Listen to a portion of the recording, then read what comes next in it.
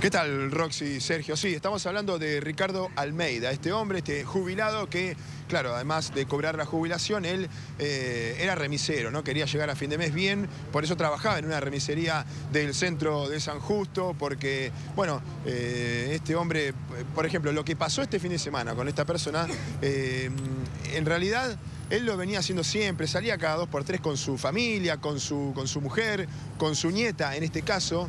Eh, habían salido a cenar el sábado a la noche y cerca de las medianoche, en realidad cerca de las once y media de la noche del sábado, llegó aquí a la puerta de su casa en su auto, en su Fiat Siena modelo 94. Esto es importante porque es un auto eh, modelo viejo que en, realidad en general no es un objetivo claro de los delincuentes que salen a robar obviamente vehículos para después eh, mandarlos a desarmar directamente vender sus autopartes. Pero lo cierto es que en esta ocasión ese fue el objetivo de estos delincuentes que lo sorprendieron entonces a este hombre cuando volvía de cenar con su nieta, con su mujer. Llegaron aquí a Guatemala al 2620 y bueno, acá viene la secuencia que hacían casi siempre dejaba a su mujer y a su nieta y él hacía unos 50 metros como mucho hacia la otra cuadra, hacia Guatemala al 2500, antes incluso de llegar a mitad de cuadra, ahí está la cochera, el portón donde siempre dejaba su vehículo, alquilaba eh, mensualmente. Se bajó de su Fiat Siena en ese momento abre el portón cuando todavía le está dando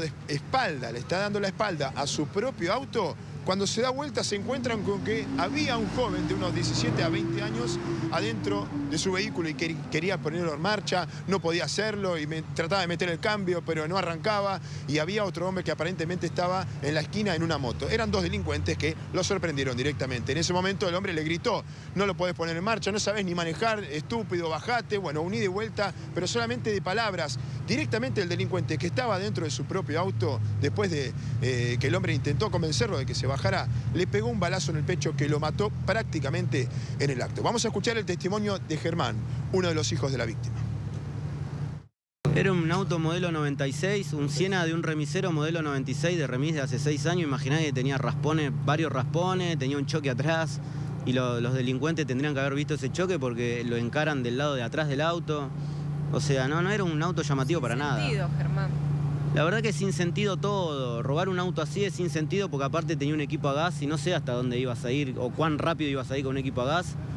Y eh, el hecho de que un hombre de 65 años esté parado en el cordón mirándote como no le podés robar el auto, salí corriendo o empujalo y salí corriendo. ¿Para qué le pegás un tiro? Aparte, no, hubo necesidad de nada. Lo mataron a tu papá porque no pudieron poner en marcha el auto.